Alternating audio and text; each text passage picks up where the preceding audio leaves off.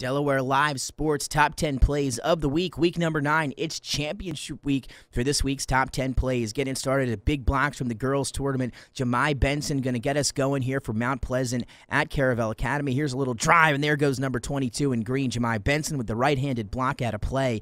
Big time defensive play there. And then now for Caravel this time, how about Josiah Crawford in transition with the right handed block there to send that one out of play. Two big girls' blocks at number 10. On to number nine. Now we got some big blocks from from the boys tournament getting us started. Stephen Powell from Dover Unified. Check out the track down here in transition, and then the right hand big time block out of play. And now that transition just right into Moose Salaku. All these blocks coming at the Dover High School. Check out this one. Just going to nice play it cool, calm, and then when he elevates, you elevate, and he sends that one off the glass with the right hand. And you know, there had to be a non non Njoku block in here somewhere, and there it is. Championship time block that time for Nana Njoku. Big time blocks for the boys at number nine. On to number eight, Elijah Cradle, one of the best players in the state boys basketball this year, and the point guard floor general for Smyrna. You see him there showing off the handles, able to get in the paint, take some contact, then show off the English off the glass for the big time bucket for Elijah Cradle. What a season for number two from Smyrna. On to number seven, Abby Meredith. You know the name, and you know that she could knock down the deep ball, one of Sanford's best shooters and one of the best shooters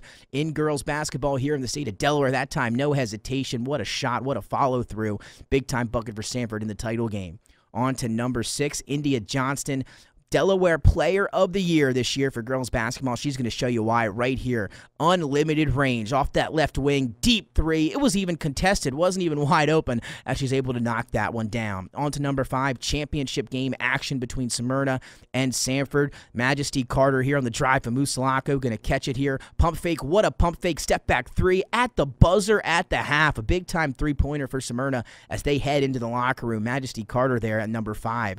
On to number four, Lish Gregory he is no stranger to the top 10. He's got a few on his resume. How about a championship game top play in transition, able to catch that outlet pass and flush it down with two hands? Lish Gregory, just another top 10 play for him. And then Nana Njoku, he's got a few himself this year. Your men's Delaware player of the year at number three. Carter Ruby going to miss it, but where's Nana? Right there for the putback off the glass. He's able to slam it home. On to number two. More Nana Njoku and Carter Ruby, the go ahead bucket here as Smyrna and Sanford battling it out for the championship game. It's crunch time here late in the fourth quarter. Down to Nana. He gets it, able to lay it in for two. Nana Njoku, Delaware Player of the Year for boys, and Sanford, they are your champions. On to number one in St. Elizabeth's, Libby Lynch to Naya Pulliam. This game was a phenomenal game 42 42. Time winding down the fourth quarter. What a pass to Pulliam. She makes it in off the glass and the foul. St. Elizabeth's would be your 2021 Girls Delaware State Champs on that play right there. I'm Nick Allison Alessandrini for Delaware Live Sports.